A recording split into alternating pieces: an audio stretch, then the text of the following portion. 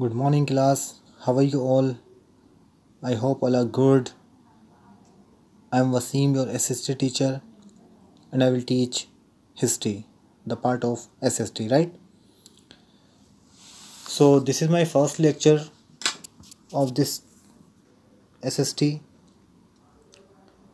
and this is the first chapter, the French Revolution. अब ये chapter के बारे में हम डिस्कस करेंगे फ्रेंच रिवोल्यूशन क्या होती है? यूरोप का एक पार्ट है फ्रेंच फ्रांस की बात करेंगे यहाँ पर।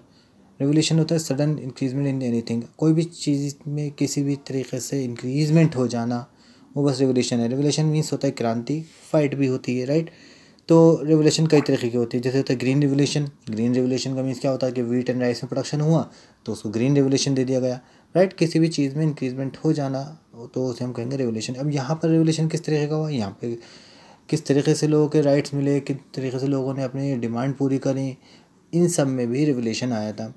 So this the first chapter okay so let's start on the morning of fourteen July seventeen eighty nine the city of Paris was in a state of alarm ठीक है the king had commanded troops to move into the city Rumors spread that he would soon order the army to open fire upon the citizen.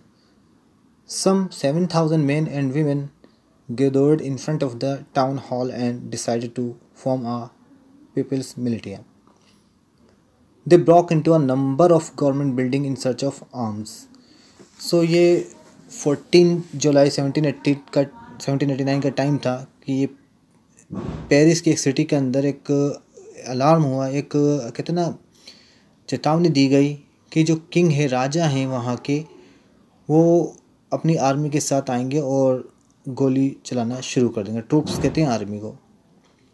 एक अफवाह फैली rumours कहते हैं अफवाह को। ये अफवाह फैली और जो लोग थे, परेशान हो गए कि अब आएगी आर्मी और हमें मारना शुरू कर देगी राइट तो इसमें सात हज़ार लोग, ठीक है ना मेन और वीमेन इकट्ठा हुए टाउन हॉल के अंदर उन्होंने ग्रुप मतलब एक तरीके से बनाया और डिसाइड किया कि हम लोग जो है गवर्नमेंट की बिल्डिंग को लूटेंगे। उसमें जितने भी आर्म्स हैं आर्म्स हैं हथियारों को लूटना शुरू कर देंगे। इस तरीके से इन लोगों ने इकट्ठा हो गए और इकट्ठा होने के बाद ये डिसाइड किया। Finally a group of several hundred people march towards the eastern parts of the city and storm the fortress prison the Bastille where they hope to find hoarded ammunition बस यही था, लोगों ने ग्रुप बनाया और several hundred people मतलब कई सौ लोग जो थे, इकट्ठा हुए और बढ़ना शुरू हुआ ईस्टर्न साइड को। और होने के बाद उन लोगों ने किलों के अंदर, जेलों के अंदर, ये सब जगहों पर जहाँ जहाँ उनको हॉर्डेड एमिनेशन मिस होता है, कि गोला बारूद जो रखा हुआ था, उन्होंने ढूंढना शुरू कर दिया।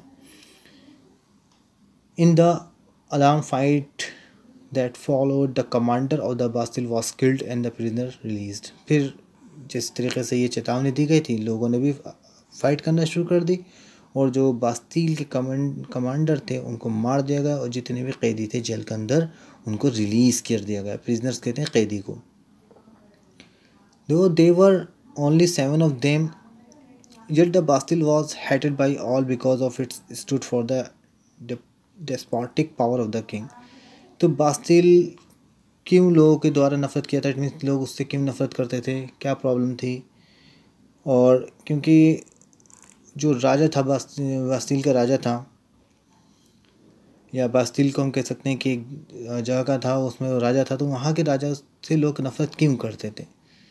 The fortress was demolish and its stone fragments were sold in the market to all those who wish to keep a souvenir of its destruction बस यही था कि इसमें भी बताया गया कि जो किले थे, महल थे, सब ढा दिए गए टुकड़े, उनके जो स्टोन थे, जो मेन कीमत, कीमती चीज़ थी, वो सारे टुकड़े मार्केट में बेच दिए गए।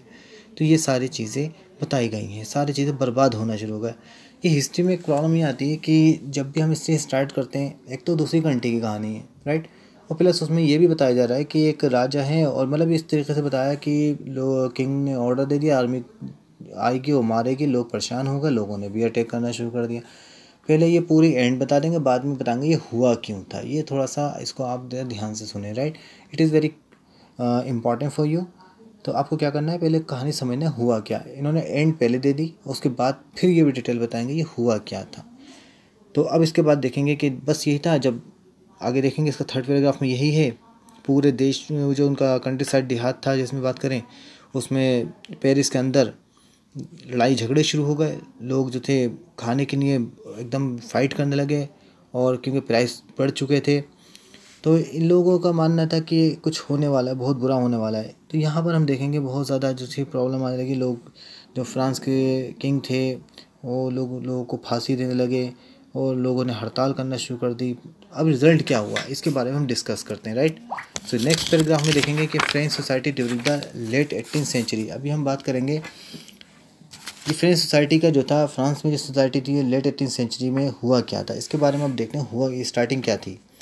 ये seventeen seventy four Louis sixteen of the Bourbon family of king ascend the throne of France king जो थे लुइस सिक्सटीन ये बूर्बो फैमिली से बिलोंग करते हैं, ये राजा थे और सिंहासन पर बैठे एसेंड द थ्रोन का मतलब होता है फ्रांस मतलब सिंहासन पर बैठना। बीस साल के थे और मैरिड हुए थे ऑस्ट्रियन प्रिंसेस मारी एंटोनेट इनसे, इनकी मैरिज हो गई थी। तो एक तरीके से जब इनका, कहते हैं ना his accessions the new king found an empty treasury जब ये सिंहासन पर बैठे तो बैठने के बाद यहाँ पे हम देखेंगे कि जो सिंहासन पर बैठे, बिहार, कुछ भी नहीं था। जैसे यहाँ पे हम देख सकते हैं कि ये सब इसके अंदर यहाँ बताया गया कि जब वो सिंहासन बैठे तो कुछ भी नहीं था। सारा का सारा ख़जाना खाली था। बहुत ज़्यादा फाइट हो चुकी, सब कुछ हो गया था। The long years of war had drain the financial resource of France क्योंकि फाइट हो चुकी थी बहुत ज़्यादा तो फ्रांस में जितनी भी रिसोर्स थी, वो सारी की सारी ख़त्म हो गई थी राइट तो ये हमने इसके बारे में डिस्कस किया कि फ्रांस में क्या हुआ? ये सब जो लिखा हुआ है कि यहाँ पर क्या क्या थी, सब चीज़ें फ्रांस के अंदर खाली हुई। जब राजा बैठे सिंहासन पे लुई सिक्सटीन तो उस टाइम पे कुछ नहीं था, पूरा फ्रांस में जो चीज़ें थी सारी खाली हो गई थी राइट तो यहाँ तक हमें आई थिंक क्लियर हो गया होगा। और उसके बाद अब जब राजा बैठे तो राजा को तो कुछ ना कुछ चाहिए। तो इस नियम में क्या था added to this was the most of maintaining an extravagant court at the immense palace of Versailles और जब राजा बैठे हैं तो उनको एक महल भी चाहिए और मेंटेन भी करना है, खर्चे भी करना होते हैं। इस तरीके से राजा ने क्या करा कि फ्रांस में, France help the thirteen American colonies to gain their independence from the common enemy Britain क्योंकि ब्रिटेन जो था उस टाइम पे हुकूमत करता जा रहा था तो फ्रांस ने हेल्प भी करी थी अमेरिकन कॉलोनीज़ की और उनको आज़ादी भी दिलाई थी ब्रिटेन से। और द वॉर क्योंकि वो फिर फ्रांस में फाइट में जब लड़ चुका था तो उसके बाद जितनी रिसोर्सेज थी, वो ख़त्म हो चुकी थी। The war added more than a billion livres livres ये करेंसी का नाम है to adapt that already risen to more than two billion livres so इसमें आप लिवरे देख सकते हैं unit of currency in France okay discontinue in seventeen ninety four बाद में ये ख़त्म हो चुकी थी लिवरे करेंसी को बोला जाता था फ्रांस की। तो कर्जे में बहुत ज़्यादा डूब चुका था ये फ्रांस भी। Lenders who gave the state credit now began to change ten percent interest on loan तो यहाँ पर एक तरीके से लोन भी मिल चुका था ओके लोन भी दे चुके थे और उसके बाद लोन देने के बाद उससे ब्याज भी लगता था। So the French government was oblige to spend an increase percentage of its budget on interest payment alone अब यहाँ था क्या मेन चीज़? कि यहाँ पर गवर्नमेंट को मजबूरी टैक्स बढ़ाना था। क्योंकि जो गवर्नमेंट फ्रांस जो है पूरा डूबा हुआ कर्जे में तो क्या करना पड़ेगा? वहीं के लोगों पर तो टैक्स बढ़ाना पड़ेगा। जब गवर्नमेंट की इनकम होगी गवर्नमेंट उसको पे कर देगी। बस यही हुआ कि गवर्नमेंट ने क्या करा? जब राजा बैठे सिंहासन पे, उन्होंने फिर खर्चों को अपने मेंटेन करना थे सब तरीके से करना था उन्होंने क्या करा? फ्रांस में टैक्सेस बढ़ा दिए। जब उन्होंने टैक्स बढ़ाए तो क्या हुआ इसका रिज़ल्ट कि even this measure would not have suffice French society in the 18th century was divided into three states.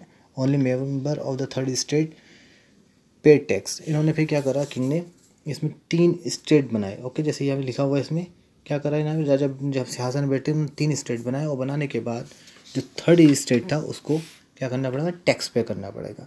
बस यही हुआ, यहीं से जो थी प्रॉब्लम फेस करना पड़ेगी। अब आप देख सकते हैं कि यहाँ पर जो ये फ़र्स्ट स्टेट हो गया, ये सेकेंड स्टेट हो गया थर्ड हो गया राइट तो फ़र्स्ट स्टेट वाले और सेकंड स्टेट वाले कुछ नहीं देंगे लेकिन थर्ड स्टेट वाले जो यहाँ पर मेंशन किया गया था, ये सब, ये लोग जो हैं टैक्स पे करेंगे। अब फ़र्स्ट वाले में कौन थे? क्लर्जी लोग थे जो चर्च में पादरी होते हैं, वो थे नोबिलिटी सेकंड वाले में आ गए। और थर्ड स्टेट में जो थे business big business man merchants courts व्यापारी ये सब ऑफिशियल्स लॉर्ड्स इसमें पीस एंड आर्टिन सभी लोग थे। इन लोगों को ही टैक्स देना है, बाकी किसी को नहीं देना है। So I hope everything is clear to all till here is there any problem